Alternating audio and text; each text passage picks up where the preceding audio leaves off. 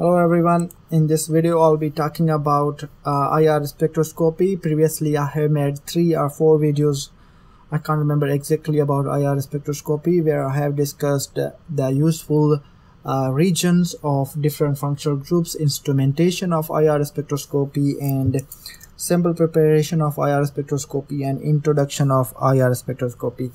So in this video I'll be uh, giving you a practical guideline how to approach the uh, analysis of a spectrum or what you can tell at a glance. When you look at the spectrum how you can interpret it and how you can get the results out of that spectrum.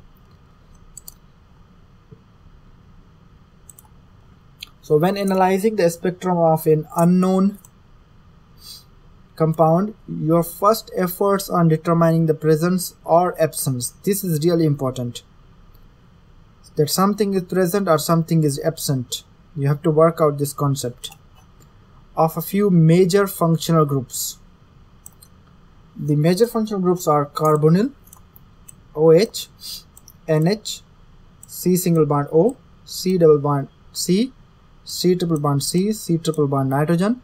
Nitropeaks are most conspicuous, conspicuous, give immediate structural information if they are present. Do not try to make a detailed analysis of the CH absorptions near 3000 per centimeter. Almost all compounds have these absorptions, okay? So look for the major uh, carbonyl or uh, major compound peaks, not all the peaks, only major peaks, okay?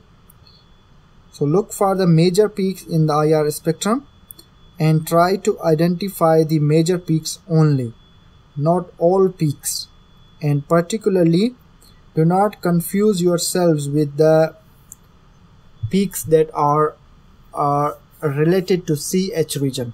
Focus on the peaks of carbonyl, hydroxyl group, amine group, ether group, alkene, alkyne, nitrile and nitropeaks. The carbonyl group is a big class of functional groups which contains aldehyde, ketone, carboxylic acid, ester, amides, anhydrides, acid chloride. So seven major groups fall into the category of carbonyl groups. Now number one point is a carbonyl group present whenever you look at the IR spectrum.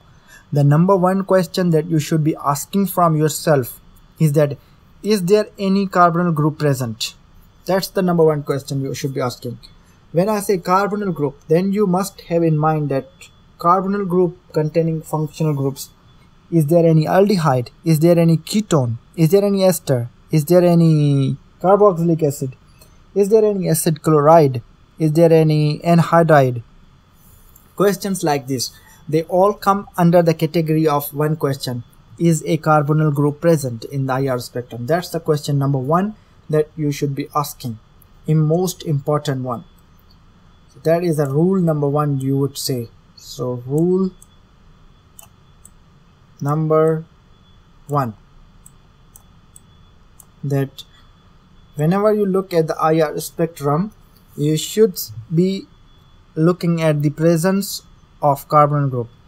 Okay the carbonyl group gives rise to a strong absorption peak. That is a second hint that how you can identify the presence of a carbonyl group in the IR that the peak would be strong, the peak would be intense in the region where it will be.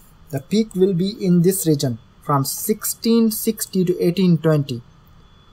So strong peak,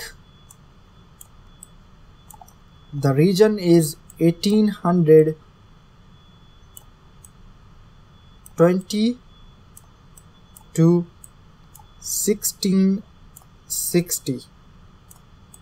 So Look for the carbonyl group in any given IR spectrum. Look into this region that is from 1820 to 1660. Look for the intense peak. Look for the region from 1820 to 1660. The peak is often the strongest in the spectrum and of the medium width. You can't miss it. Okay, it's easy to identify okay if you have understood the rule number one or the guideline number one to approach or interpret or assign the IR spectra. Then let's move on to the rule number two.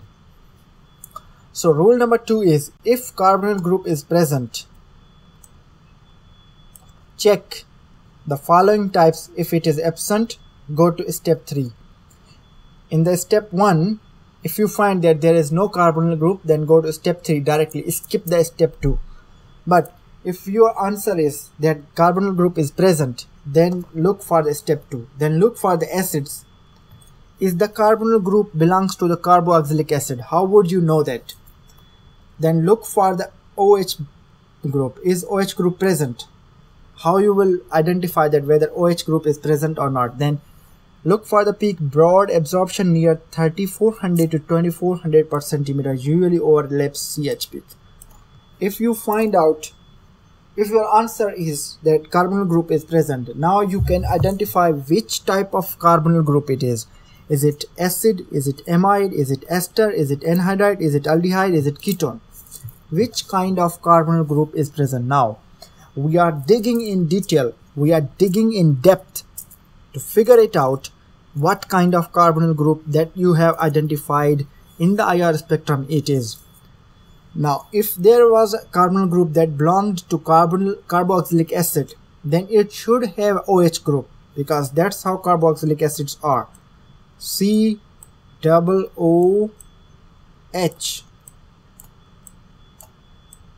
So look for the additional OH peak in the IR spectrum that corresponds to the uh, carboxylic acid. If you find out that there is a OH peak as well as this peak then that must be due to the carboxylic acid. Then next if if you want to find out that carbonyl group is due to the amide then find out that is NH also present because amides contains carbonyl group plus NH NH2 or NH depending upon what kind of amide it is so the NH peak can be identified as medium absorption near 3400 per centimeter. Sometimes a double peak with equivalent halves. Okay. Now if you want to look at more detail that this carbonyl group is due to the ester, then look for the CO present. Is there a CO group? Carbon single bond oxygen group present in your molecule or not. Look that functional group. A strong intensity absorptions near 1300 to 1000 per centimeter.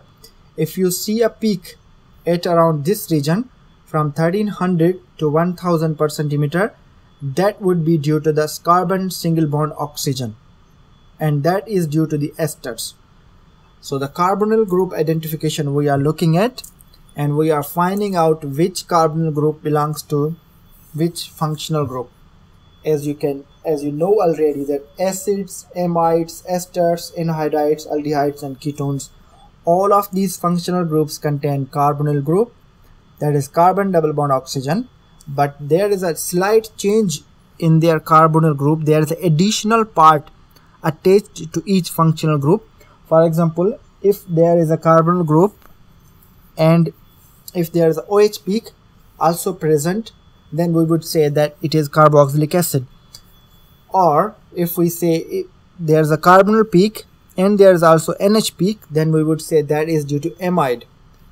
Or if we say there's a carbonyl group and there's a C single bond O peak that is also due to the esters. Now let's let's find out how we can identify anhydrides. It's relatively easier to find out because anhydrides contains two carbonyl groups. One is symmetric, one is asymmetric. So in my previous videos, I have also described modes of vibration, symmetric, asymmetric, twisting, bending, stretching. So if you haven't watched that video, please watch that one out. So that is uh, about the modes of vibration or vibrational spectroscopy. Now anhydrides contains two different carbonyl groups and they appear as it and they give rise to two IR absorption peaks for carbonyl groups for two carbonyl groups. one at 1810 and one at 1760 and they are quite easy to identify recognize. Next is aldehyde. In aldehydes you look for the ch peak. That because aldehydes contains carbonyl group and one side it is R and other side it is H. So if there is a spectrum which corresponds to aldehyde that will not contain NH that will not contain OH so you look for the CH peak. Two weak absorptions near 2850 to 2750 on right side of the aliphatic CH absorptions you will find these peaks that will correspond to aldehydes okay? How you can uh, pick ketones? The preceding five choices have been eliminated.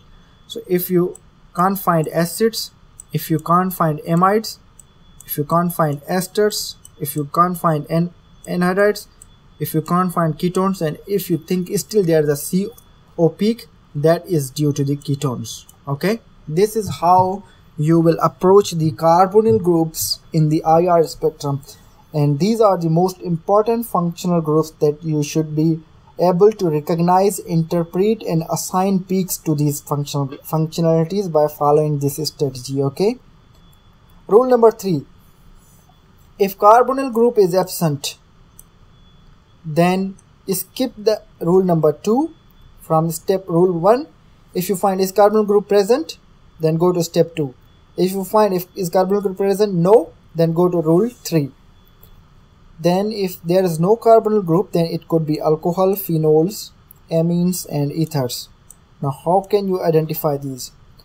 There is a issue between alcohols and phenols because they both contain OH group. Alcohols and phenols they are OH group containing functional groups okay? Check for OH broad absorption near 3400 to 3300 for both. Confirm this by finding CO near 1300 to 1000 how you can pick amines? Check for NH medium absorptions near 3400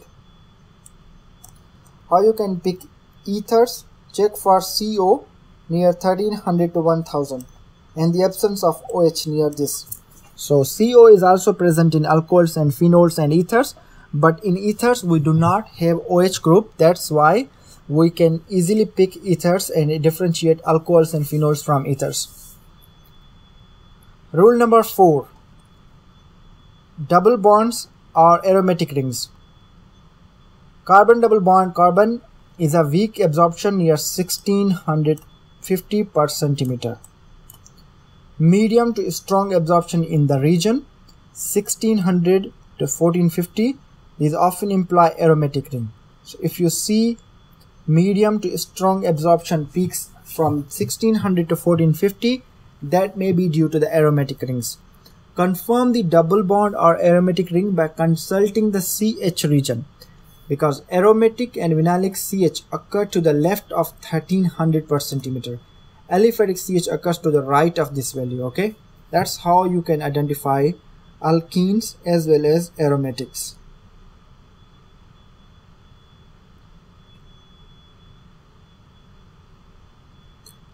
Next you can identify these triple bonds.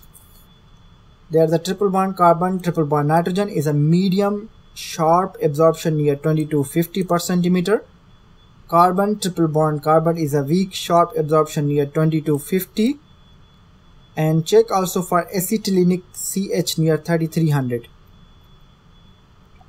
Nitro groups two strong absorptions at 1600 to 1530 per centimeter and 1390 to 1300 per centimeter that is due to the nitro group. Hydrocarbons none of these proceedings is found major absorptions are in CH region near if you can't find double bond if you can't find triple bond if you cannot find any carbonyl group if you cannot find any benzene ring if you cannot find nitro group then it must be due to the hydrocarbon. Okay?